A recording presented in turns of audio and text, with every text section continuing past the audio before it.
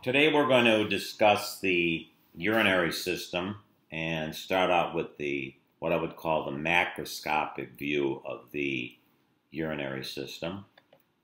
And so kind of think of the urinary system as you're going to have your paired kidneys. And those paired kidneys, remember, are going to be retroperitoneal. So a key term is the word that the kidneys are located retro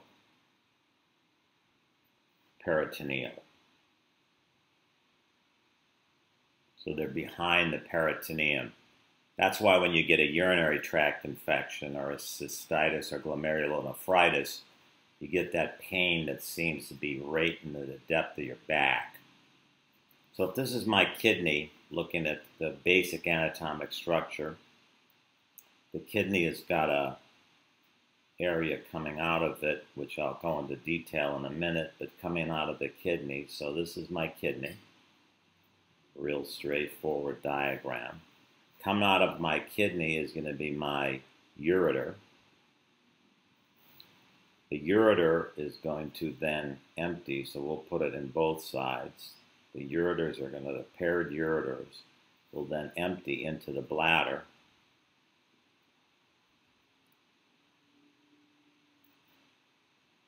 As they empty into the bladder, they're going to empty towards the base.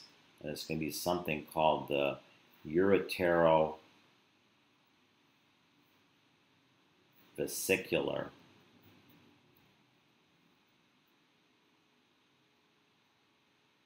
junction. It's a very common place for males to develop cancer of the bladder because of the transitional epithelium of the bladder.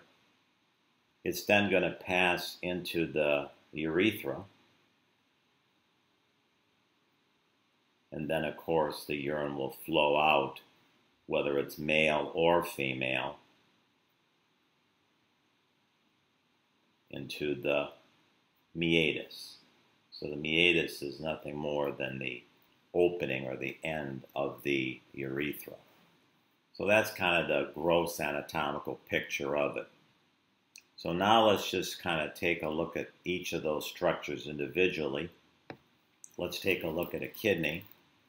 So kidneys are not, as I say, very exciting when you think of the macroscopic picture. But if I was to say this is a kidney, I know the kidney is going to have a outer covering of it. And so the kidney itself, I'll just use this kind of a darkened pen to distinguish that it's a different layer of tissue surrounding it. So therefore, that's going to be called the renal capsule.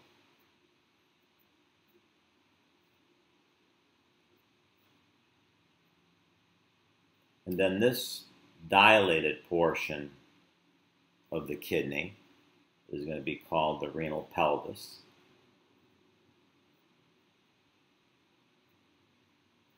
The renal pelvis is going to empty out through a tube, and that tube is going to be called the ureter. Think of the ureter as really comprised mainly of smooth muscle and connective tissue.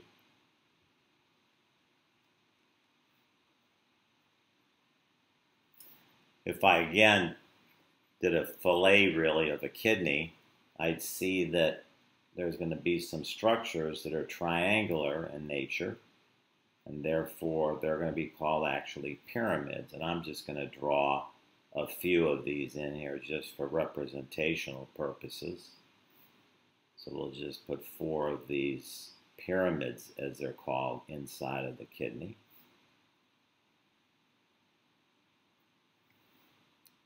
So each of these would be called a renal pyramid.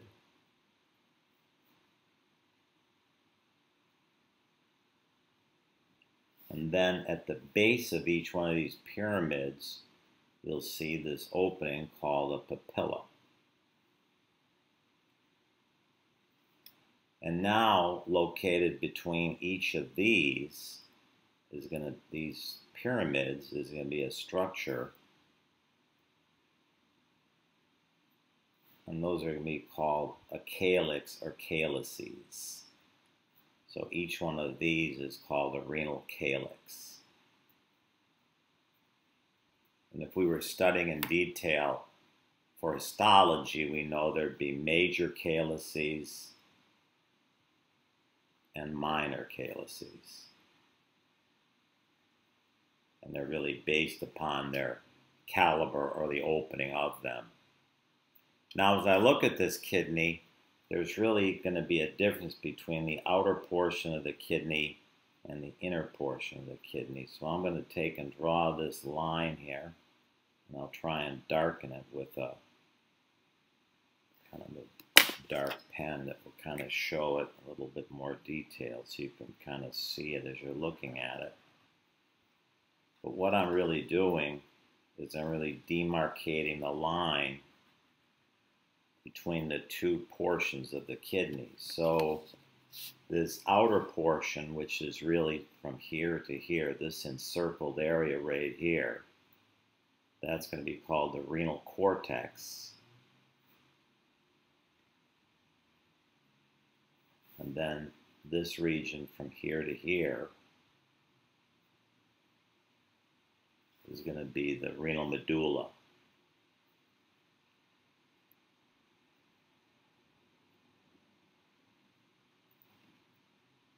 And so therefore, we're going to try and picture that this again, again, is what I would call a macroscopic view. Which remember, macro means giant. So it's really looking at this with the naked eye without the use of a microscope.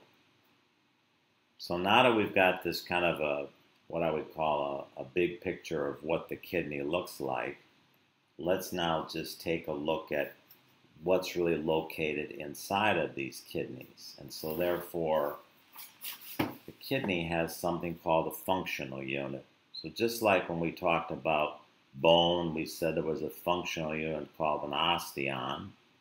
Or if we were talking about muscle, we said there was a functional unit called a sarcomere. The functional unit of the kidney is going to be called the nephron. And there's literally millions of nephrons inside of each kidney. That's why we've got such residual capacity. But to draw a nephron, it's a very kind of a unique looking structure, but a real simple way to draw it is just kind of come in, and then you're going to come and do that into a circle, and come out. And then surrounding that, you're going to come up and down and around and out. And therefore, that is going to be an individual nephron. So now we want to label really the portions of the nephron. And for right now, we'll make this real simple. And I'm going to draw it one more time a little bit larger. But this portion here is going to be called the glomerulus, or the ball of capillaries. These are going to be blood coming into the kidney and blood coming out of the kidney. And so the first thing we want to get here is the concept that there's a glomerulus, there's something called a Bowman's capsule,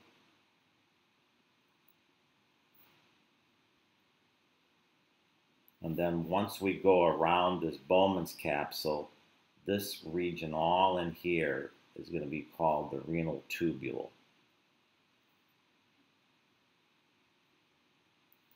Now, the significance really of this is when we go back and think about blood flow. So there's some terms I had you memorize at the beginning of the semester. One of them was TBV. Remember, TBV stood for total blood volume. Total blood volume, we're going to use the magic number of 5 liters or 5,000 milliliters. So that's your number that we're going to use for the total blood volume in the body. But I know that to supply these millions of nephrons, I'm going to have to have a renal artery. So each kidney is going to have a renal artery, so that's going to be the renal RBF, which is called the renal blood flow. And the renal blood flow is going to have the magic number of 1.25 liters per minute. And that's for both kidneys.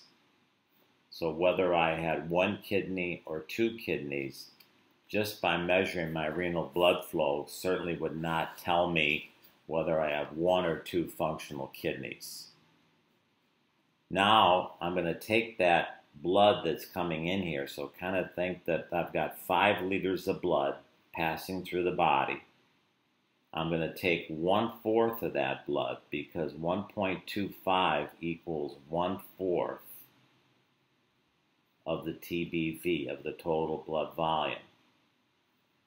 That blood then is going to separate into millions of nephrons and enter this structure here, which we're going to go to the next page and just draw a little bit larger. But for right now, I'm just going to call this a AA or an afferent arteriole.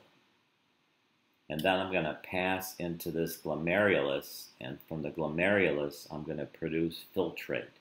So what's going to be produced here is going to be filtrate. And therefore, filtrate's where I'm going to get the term of GFR. And that stands for glomerular filtration rate.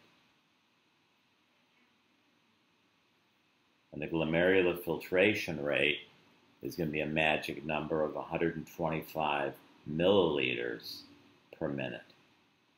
That's the number we often associate with something called the renal clearance, or sometimes we associate with the word the creatinine levels. So that is again just the big picture of the kidney. So if this is a renal artery bringing blood in, is bringing into one of these millions of afferent arteriole. It's going into a ball of capillaries producing filtrate. That filtrate is going to then pass through the series of renal tubules. What doesn't pass through will come out of this tube here called an EA or an efferent arteriole, and that's eventually going to pass into the renal vein. And then, of course, in this renal tubule here, we're going to filter and reabsorb, and we're going to secrete. And it's not until we get to the CT here, or collecting tubule, that we're going to actually produce urine. So that's the what I would call the big picture of a nephron. And picture those literally little tiny dots that are really seen inside of that cortex. So if I was to just, again, just making a really big drawing of that kidney, just for purposes of just understanding a real simple concept here. If this is the kidney, and this is my pelvis, and this area surrounding it here are going to be my uh, cortex. If I look at that with the without a microscope, I'm going to see literally these tiny little black dots that are going to be located inside of that. Remember, this region here is going to be called the renal cortex. This region here, where we're going to have our pyramids, is going to be the renal medulla. And of course, this region here is going to be called the renal pelvis. So if you kind of picture this hilum of the kidney, and again, just drawing that kidney piece at a time, here's that same kidney. But now we just want to see how blood is coming in or out. If this is my hilum of the kidney, remember the hilum of the kidney is just like the hilum of the lung. So that's going to be the hilum. The hilum is where structures enter or exit. So coming into the hilum of the kidney is going to be the renal artery. So that's my RA, the renal artery. Coming out of it is going to be the renal vein, the RV. And then, of course, the third structure coming out of there, and that is going to be the ureter. So now we know that it's this renal artery that's going to split off into millions of nephrons, and the end effect is going to be filtration. So if we now just draw that nephron one more time, and now just label the pieces of it. So we're coming in, we're going out. There's our nephron. Over here was the renal artery.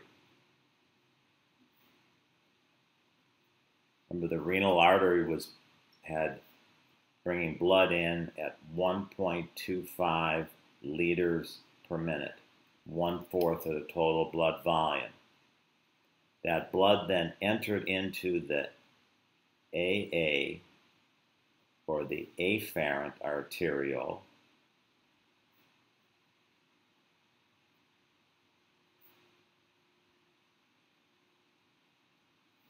it's going to pass through the G. And remember, G is going to be the glomerulus, or the ball of capillaries.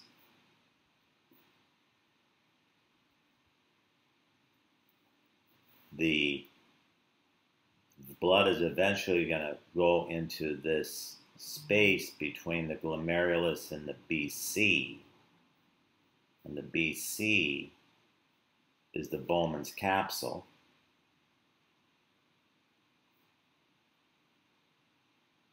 And it's in that region between the glomerulus and the Bowman's capsule that we're going to be producing filtrate. That filtrate now is going to pass through the Bowman's capsule. It's going to pass then into the descending limb.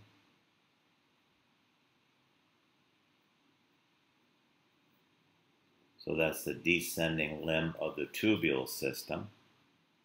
It's going to pass through the PCT. PCT stands for the proximal, which means from the beginning, convoluted, which means twisted just like it's showing here, tubule. The descending limb is then going to go into the loop of Henle. So this thickened region at the bottom here is going to be my LH, or my loop of Henle.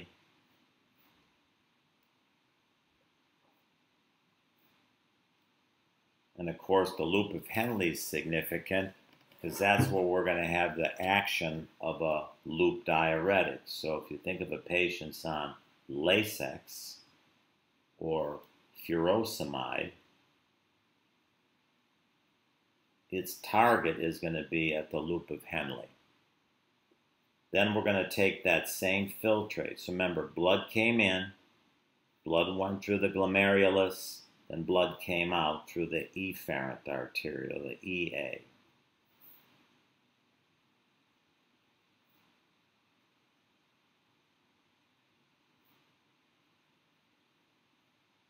And eventually, that blood then went into the RV, or the renal vein.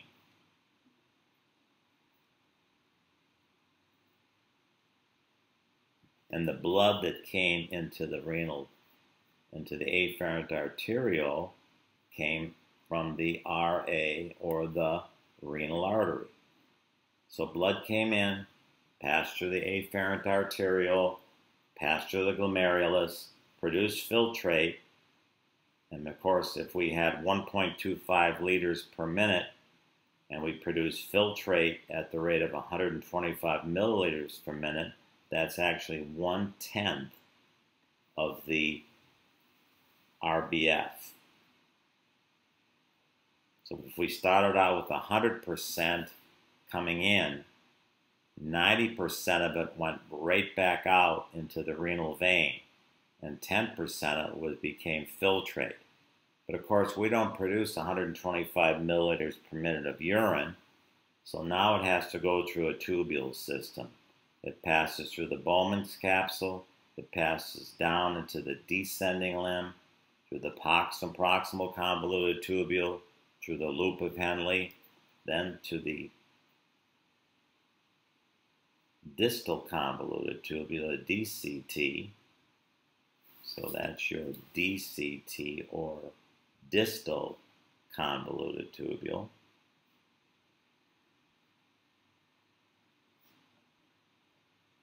And of course, since it's going upwards, we're really calling this the ascending limb.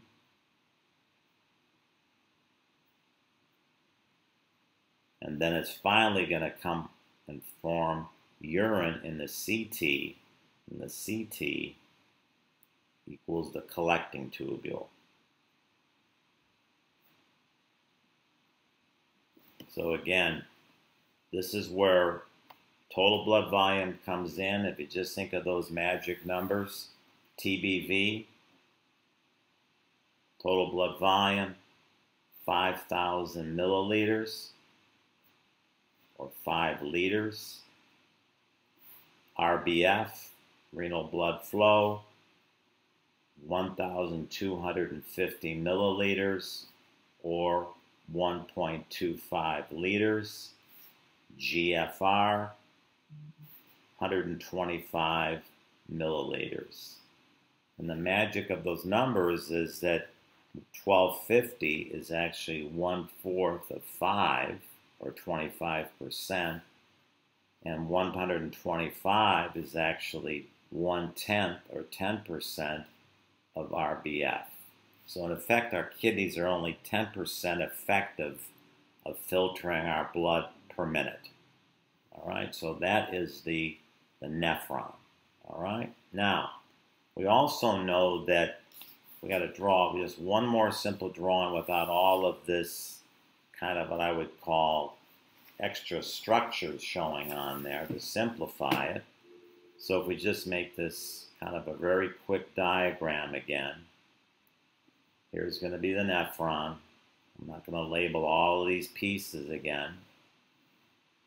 But I do know that coming here is this, remember, this is the renal artery in effect, sent blood in. Remember, this is going out into the renal vein, back into systemic circulation. And therefore, coming out of this renal vein are going to be a series of capillaries. They're going to wrap their way around the tubules and go right back into the renal vein. And therefore, those are called my peri tubular capillaries. And so therefore, a couple things we've really answered here. If you remember when we started the class, we said what organ controls our blood pressure? And of course, the answer is going to be the kidneys. Why? Because we've literally got millions of arterioles, because each nephron, of which there's millions of them, has an afferent arteriole and an efferent arteriole. It also shows us that we can use different diuretics and using different electrolytes in that, we can filter the filtrate, we can secrete a secretion like ions, electrolytes, and then finally we can reabsorb. So when my body's trying to control its electrolyte volume, it can actually use these kidneys in different portions of the tubule in order to filter the blood, in order to secrete ions or electrolytes if I've got too much sodium, if I've got too much potassium, if I don't have enough hydrogen ion, and it can also reabsorb. So that's why kidneys are so important and because we've got so many millions of nephrons, we really don't know that our kidneys are failing until all of a sudden they get to somewhere about 40% of their effectiveness, and all of a sudden we're really in end stage renal failure. So now we know we've taken blood, we've filtered the blood, we've sent the blood back into the renal vein, and we've collected, created urine, because it's urine that's actually coming out of this CT or this collecting tubule. And we know that when we're looking at these kidneys, we're actually taking and sending them into the bladder. So just remember that your bladder is going to be smooth muscle. It's going to be involuntary. So if this is my bladder here, so again, just making it very simplified, here's my bladder. Remember the bladder's got these ureters that are bringing urine from the kidneys. And then it's going to pass into this urethra. There's actually going to be two sphincters located at the neck of the bladder. There's going to be a sphincter approximately right here, and there's going to be one a little bit distal to it. The first sphincter we're going to come upon is going to be called the external urethral sphincter. I'm sorry, internal. The first one we're going to hit is the internal urethral sphincter. It's internal, so therefore it's proximal to this distal external. So that's going to be smooth muscle. And I always say that the internal urethral sphincter is going to say, I've got to go. The pressure wave of the bladder filling up with urine is going to put pressure on this smooth muscle and sending signals to you and telling you, I've got to urinate. But since I want to urinate not in a public place and I want to get to the bathroom, I'm going to have to then come to this second sphincter, and that's going to be called the external urethral sphincter. And that's going to be skeletal muscle. And therefore, that's going to say not now or not here. So people always think of the bladder as that you can control your bladder. Well, you can't tell your bladder to urinate. You can only cause pressure increases in it. The internal sphincter then sends signals to your brain telling that your bladder is now full. And then you control your bladder with the external urethral sphincter. So think of a person that's a quadriplegic, he produces urine. The problem is he has no control of his external sphincter and therefore he's incontinent.